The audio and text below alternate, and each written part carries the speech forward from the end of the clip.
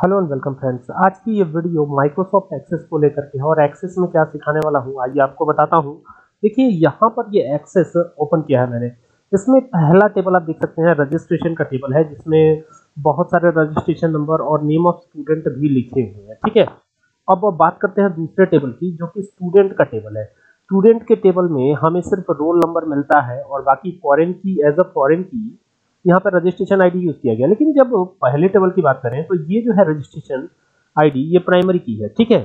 और यहाँ पर इन दोनों के बीच में एक रिलेशनशिप भी क्रिएट कराई गई है, जिसे आप कुछ इस तरीके से देख सकते हैं। ये देखिए, ये इस तरीके से रिलेशनशिप क्रिएट कराई गई है। इसे मैं फ़िलहाल क्लोज करता हूँ और यहाँ पर सब फॉर्म बना लिया गया है, ठीक है? सब फॉर्म बनाने के बाद यहाँ पर जब हम रजिस्ट्रेशन टेबल को ओपन करते हैं तो आप देख सकते हैं यहाँ पर रजिस्ट्रेशन टेबल कुछ इस तरीके से दिख रही है। और जैसे ही हम दूसरे रिकॉर्ड पर जाना चाहते हैं तो नीचे यहाँ पर ये इस्तेमाल करना पड़ता है।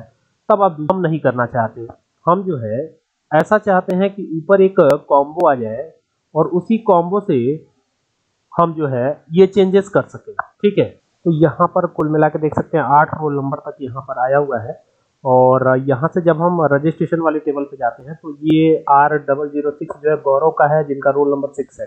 और अब हम चाहते हैं कि हम एक search box combo box create करें। तो कॉम्बो बॉक्स क्रिएट करना बड़ा आसान है। कैसे क्रिएट करेंगे?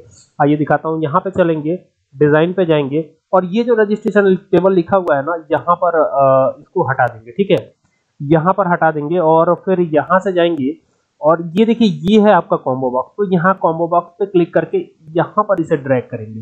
तो ड्रैग करते ही आपके सामने इस तरह की एक विंडो ओपन होती है, जिसमें आपको तीसरा वाला ऑप्शन सेलेक्ट करना होता है। ध्यान दीजिएगा, तीसरा ही वाला ऑप्शन सेलेक्ट करना है, ठीक है? क्लिक करना है और रजिस्ट्रेशन आईडी के बेस पे हमें सर्च करना है। और यहाँ पर जाकर के नेक्स्ट करके ठीक है यहाँ पर आईडी वन आ जाता है तो हमें सिर्फ़ रजिस्ट्रेशन आईडी ही रखना है। हम इसी को रखेंगे, ठीक है? और रख करके इन दोनों को सेलेक्ट करके थोड़ा सा कलर वगैरह चेंज करेंगे तो बेटर लुक आएगा इसका। तो यहाँ पर ये कलर करके इसे बोल्ड कर देंगे। और चाहे तो आप इस पूरे बॉक्स का कलर बदल सकते हैं बैकग्राउंड के थ्रू ठीक है? तो फ़िलहाल तो यही रखते हैं, ठीक है ये? ठीक है? बाकी यहाँ पर इसका कलर बदल सकते हैं हम यहाँ से जाके, ठीक है? ये देखिए यहाँ से गए, और इसका जो भी कलर आप रखना चाहते हो वो रख सकते हैं, ये हो गया।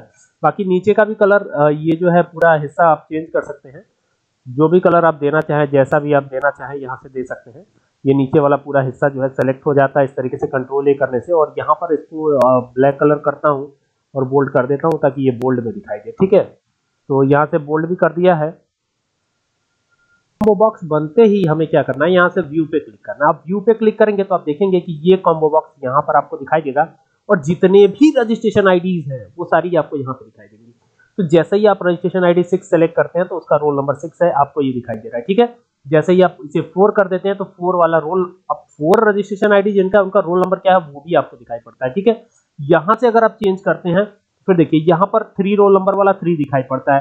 तो ये काम बड़ा आसान हो जाता है सर्च करना। यहाँ से सीधा जाकर के आप आसानी से के साथ इसको सर्च कर सकते हो। और ये काम जो है कॉम्बो बॉक्स से बड़ा आसान हो जाता है। तो रिलेशनशिप के साथ कॉम्बो बॉक्स मैंने क्रिएट करके आपको दिखाया है। यहाँ पर आपको रिलेशनशिप मैंने दिखाया है कि किस तरीके से ये रिलेशनशिप बिल्ड हुआ है। और ये वन टू मैनी रिलेशनशिप है, ठीक है? और ये दो टेबल्स के बीच में हुआ है। तो ये इस तरीके से आप कॉम्बो बॉक्स डिज़ाइन कर लेंगे तो काम आपका काफ़ी आसान हो जाएगा, ठीक है? तो आई होप कि आपको बात समझ में आई होगी कि ये कैसे डिज़ाइन करना है, ठीक है?